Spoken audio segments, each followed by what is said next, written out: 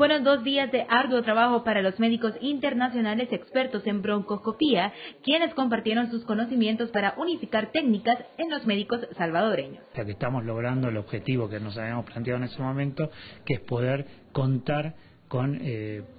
médicos locales que puedan a su vez entrenar como, como, hicimos nosotros. Han sido cuatro años en los que paulatinamente se han capacitado, incluyendo el donativo de equipo técnico para realizar prácticas, y es que la idea principal es que se conozcan los avances tecnológicos en broncoscopía en nuestro país y ser líderes en Centroamérica. Fundamentalmente yo comenté que el primer, el primer grupo de modelos se donó al Hospital Saldaña, después también cuenta con un, grupo, con un modelo del Hospital Rosales,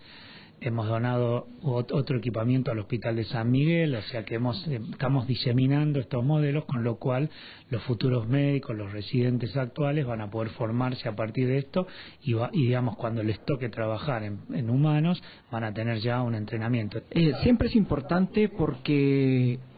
eh, cualquier persona que realice un procedimiento agarra, agarra vicios y es hasta que es